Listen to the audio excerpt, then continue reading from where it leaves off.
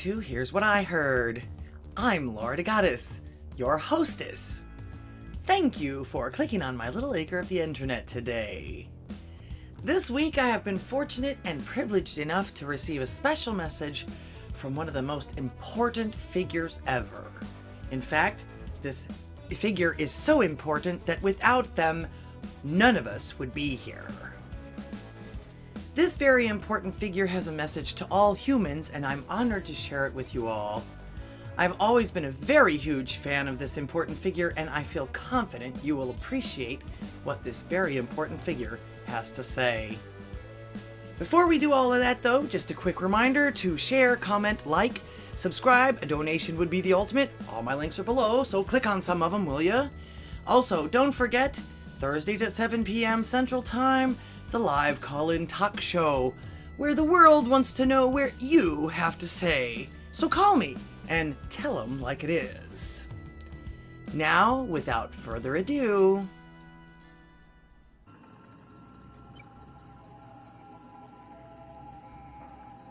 Hello. In case you don't recognize me, I'm your Mother Earth.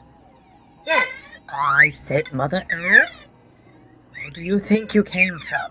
Father Time? Um, hmm. Where was I? Oh, yes. I am your Mother Earth.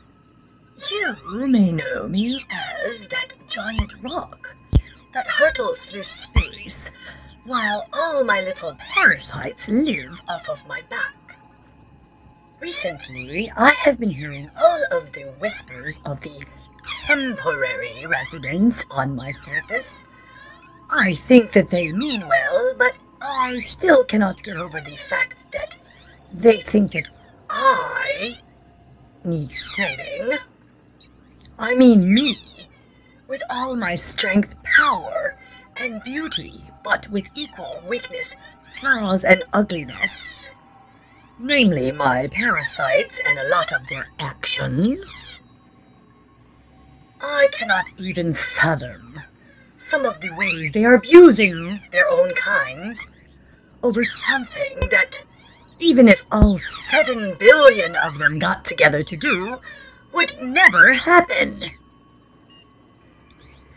You do realize that you are like fleas on a dog to me, right? Actually, even smaller. The hubris of these temporary dwellers on my skin. I mean, there are even many dwellers on my terrain that want to and actually do destroy each other in the name of saving me. What the hell is that about? One would think that they would worry about the other specks of life that live on my dermis, that are literally out to kill and eat them, but instead worry and hassle others over something they will never, ever control. I mean, come on. I am the almighty Mother Earth. If I wanted to eliminate even one of you ungrateful bugs on my surface, all I would have to do is open up a small sinkhole, and you would never be heard from again. A man was in his bedroom. The earth opened up beneath the house and he fell in.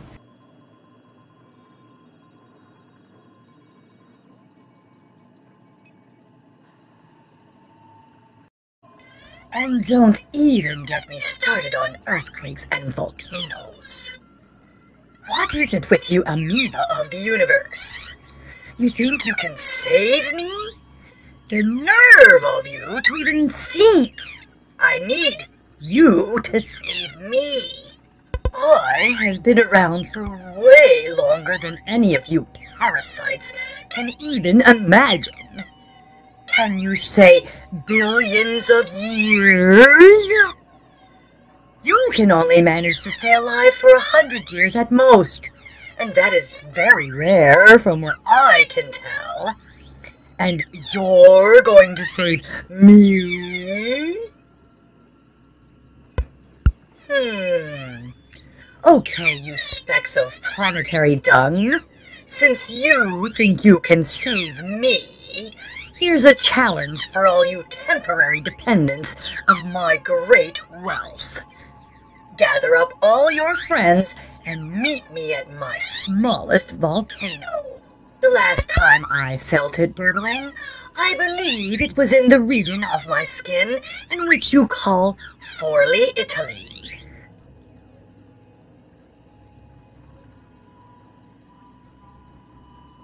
Gather up all your friends and go there and try your best to stop that volcano from smoldering or burning. In other words, try to plug one of my assholes and see just how successful you are. If, for some reason, you cannot catch a ride on one of those giant farting flies to get there, which is also one of the ways you bugs claim is one of the problems of why I need saving. Try a challenge a little closer to where you might have sank your fangs into my dermis.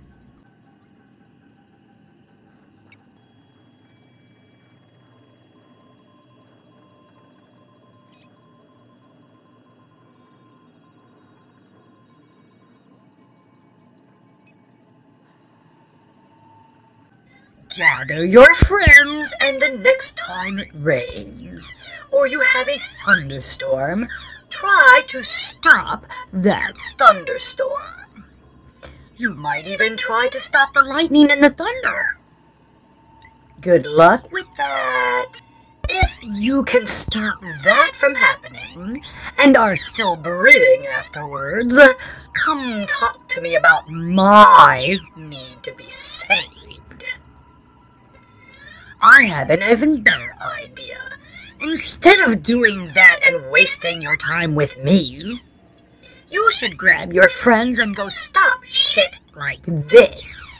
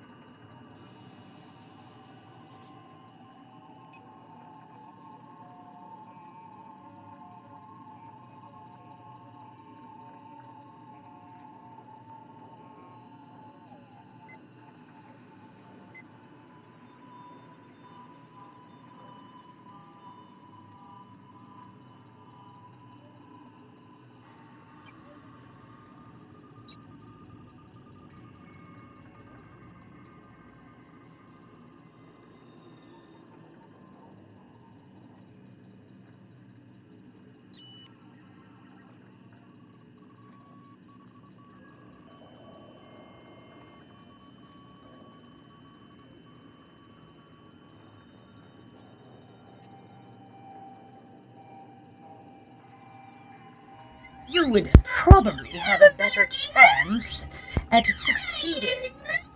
But you don't want to do that because that would mean you would have to stop using your designer phones, wearing your designer clothes, shoes, and accessories that are produced by slave labor, and showing off your virtue signaling for shit that you and everyone else knows that you're actually doing absolutely nothing about. Except bothering your fellow bugs and posting on your polluting electronics. Have you been to a landfill lately? I didn't think so.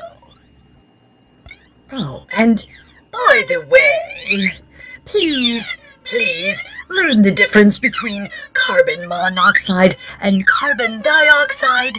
Without the dioxide one, we will all perish. Just saying.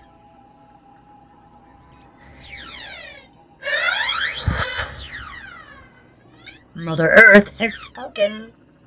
Now, please, leave me alone so I can keep producing the things you need to live, you creepy, crawly, wasteful, middling, ungrateful planetary dung beetles.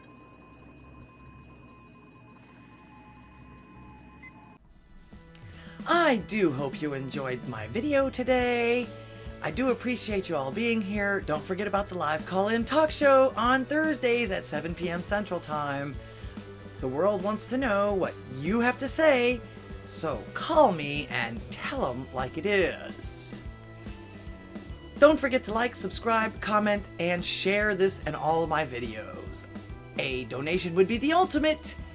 All my links are down below. Please click on some of them, will ya? Thank you for clicking on my little acre of the internet today. Until next time.